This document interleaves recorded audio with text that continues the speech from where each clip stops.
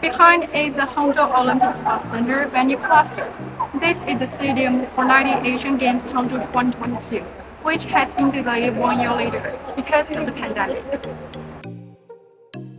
There are 40 major competitions in the Hangzhou Asian Games 2022, and 45 countries will attend it.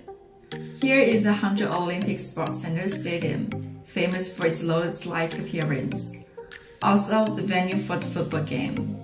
Taking over the baton from Beijing Winter Olympic Games, this event will continue to be green, low carbon, and environment friendly.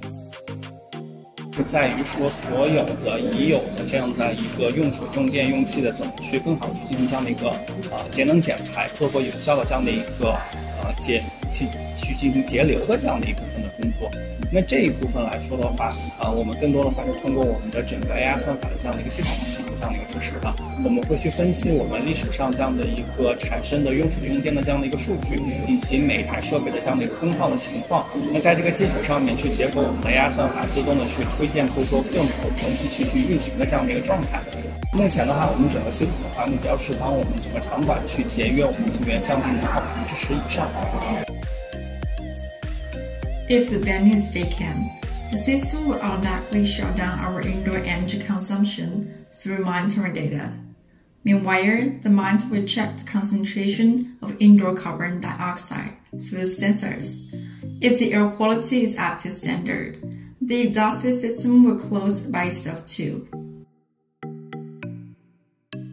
What is behind us is the Hangzhou Olympic Sports Center, swimming gymnasium, which is for swimming and diving competition. In this place, we held the most competition during this Asian Games, and each athlete will compete for five to six gold medals for each day.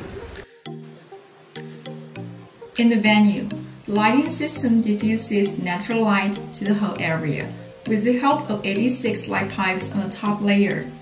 Compared with LEDs, it owns advantages of energy saving, long service life, and no strap. The service life can be extended to 25 years. There are 96 types of equipment in the overall venue with an estimated 100,000 pieces of equipment.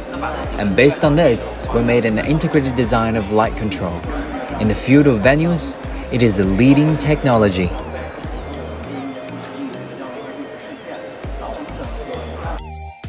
In order to avoid the waste of stadium caused by the postponement, the organizers of Hangzhou Asian Games have made a bold innovation by opening some stadiums to the public in advance.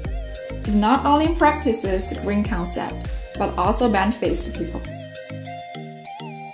呃，从今年的六月开始，逐步开放了我们的田径训练场、篮球场、羽毛球场、排球场和网球场。 呃，我们呢是做到了田径场地的全天免费。